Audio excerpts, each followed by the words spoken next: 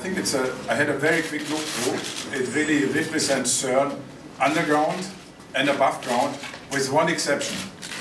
The office space you are seeing there is much too large for a single person. we have more people inside the office, but here you had to clear it a little bit in order to let the people in. I know that. Okay. So, what what will this exhibition help? I, I, think it will fascinate people. It will give them a glimpse of what we are doing, how we are doing it, what is the spirit of CERN, and what's the spirit of the people working there. And it's not only the scientists; it's also the engineers and the technicians, which one should not forget.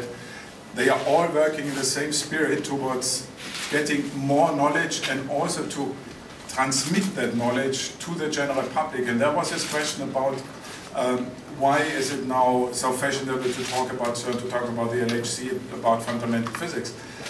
I think the interest in this in society was always there. I think we just we scientists made the mistake not to satisfy it. We have realized that there is a tremendous amount of interest in, in society and that we can satisfy it by talking to people, by making ex exhibitions, by making tours at CERN, etc., etc. The most we have to offer is to scientists. I mean, you have to imagine these experiments. Uh, you will see some some parts of it in the exhibition. These experiments are global endeavors.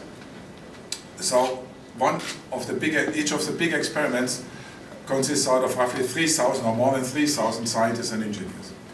Now 3,000 scientists from around 200 institutions all around the world. You have to imagine, you have 200, 300 professors. That means you have 200, 300 egos. okay? And okay, you have to slightly direct these egos a little bit so that they don't diverge, that they can converge. And it's relatively easy, Jim, to some extent at least. Uh, it's easy to, to converge them because they all have one thing in mind.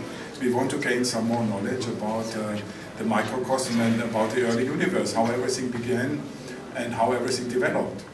And I think this also, coming back to general to the general public, that also fascinates everybody. I think uh, everybody wants at least, uh, consciously or, or, non, or unconsciously, want to know how everything started. And that's what we are doing. And it goes far beyond uh, the discovery of the, of the Higgs boson, which is just one major milestone in our knowledge about the early universe. I mean, it, it was the last missing build, uh, building block of the standard model. But we are still, as Peter pointed out, we are still, no, we have still no clue what the dark universe is. And 95% of the universe is dark. I mean, 50, it took us nearly 50 years to complete the standard model our knowledge about the visible universe, 95% are still unknown. It's high time that we enter the dark universe, and this is our hope that we find some traces of, of dark matter particles, for example, when we switch on the machine again in 2015.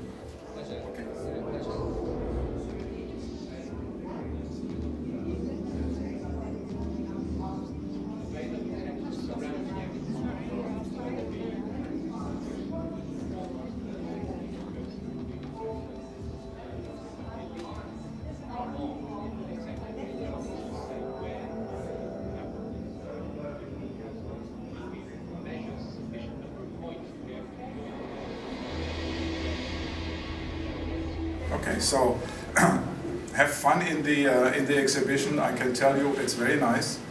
But the real thing is still in Geneva. okay? Thank you.